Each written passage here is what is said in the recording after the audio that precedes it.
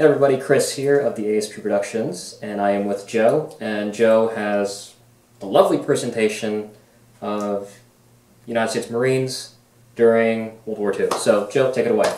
All right, thanks, Chris. Um, this is what was considered the summer service uniform. Uh, before Pearl Harbor, it really was the dress uniform and the combat uniform. It was it did both uh, both duties. Obviously, in combat, they weren't wearing neckties, mm-hmm. but this is the campaign hat that, especially in the more tropical areas, they, they enjoyed wearing it. And before the actual war, they weren't wearing their helmet when they didn't have to. Oh yeah. You know, and uh, um, you can uh, they, were, they were made of cotton, so in the summer service uniform, they're actually very comfortable. Um, you can always tell a Marine Corps shirt compared to an Army shirt, which is always a big controversy yeah. for some people. So what's the uh, what's the difference? Two, three major things. The pocket flaps are pointed on a Marine Corps shirt. Okay. An Army one is simply squared off. All right. Number two, behind the buttons is a cotton strip all the way up that they sew the, the buttons to. Mm -hmm. Army ones don't have that cotton strip. And three, and the most obvious one is you look for the contract stamp or the contract tag. Okay. And if it says contract United States Marine Corps 1943, well then obviously there you go. Yeah.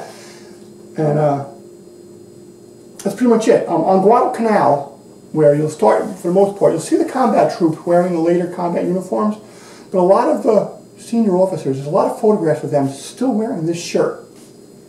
Obviously at, uh, at Pearl Harbor, at Wake Island, at, yeah. um, at Corregidor, the 1941 battle, yes. right the beginning of the war. Yeah.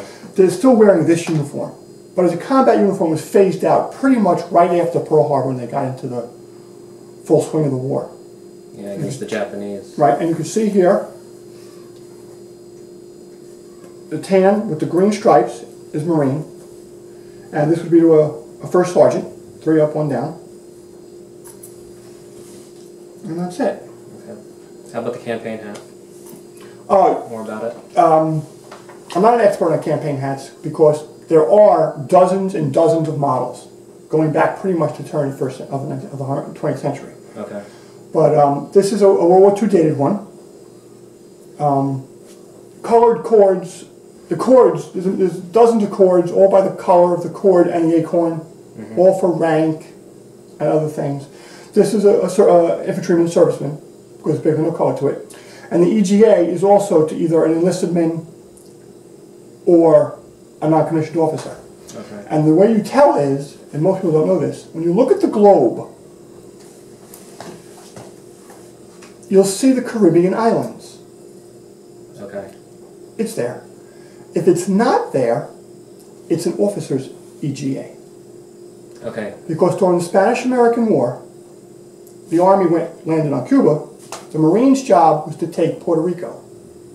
The Marines that landed on Puerto Rico in 1898 were led ashore by NCOs. So since then, mm -hmm. only enlisted men and NCOs have the Caribbean islands on the globe of their Eagle Globe And not the officers. Not officers, correct. wow. Isn't that something? Yeah. Little things, right? Yeah, little little things that, yeah. you know. When you're collecting little things. Yeah, okay. And that's pretty much it. Well, we have outside, let's say, when, uh, when it's the full dress uniform, obviously the one was called the piss cutter. Uh, it's called a piss cutter. Army would call it a garrison cap. Okay.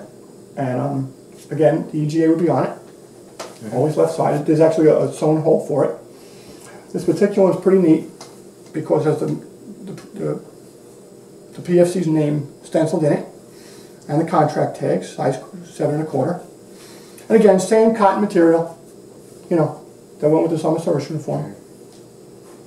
Obviously, you didn't see those in combat. Yeah. Yes, it was not meant, it was not its intention. And it was always the summer service pants. This is a mint unissued pair that still has the tailor's cutter tags on it. Same material, basic same color. And nothing more than a watch pocket in the front. That's how you... How about in the back? No pockets. That's one of the keys to tell it's Marine and not Army. Why? How do you? How can you tell the difference between Marine and Army? No pockets. In the back? Correct. Oh, so the, for the army they would have pockets Correct. in the back. Ah, yep. okay. Yep. And that's them. And you can see the Dakota tag still on there. Uh, what, what's the date on? 1943. So clearly unissued. Just an absolute beautiful pair. Wow. And then there's the waist belt. Brass, open face buckle on a khaki belt. Brass tip. And that's it. That was the summer service uniform. That's nice. All right, close up look. The Marine uniform. Pointed. Pointed compared to the Army, Army which has a flat um, fold over. This is pointed. This is Marines. And second is this. This white cotton strip. And of course, just look for any Marine Corps markings. But that's how you distinguish Army and Marine. Is there one? Hmm. Not this particular one, no. Yeah. No. All right.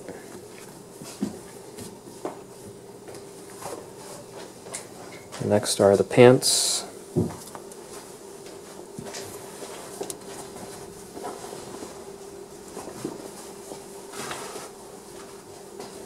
Button up pants.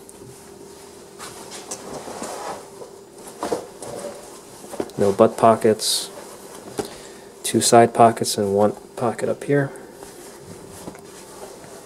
That's it.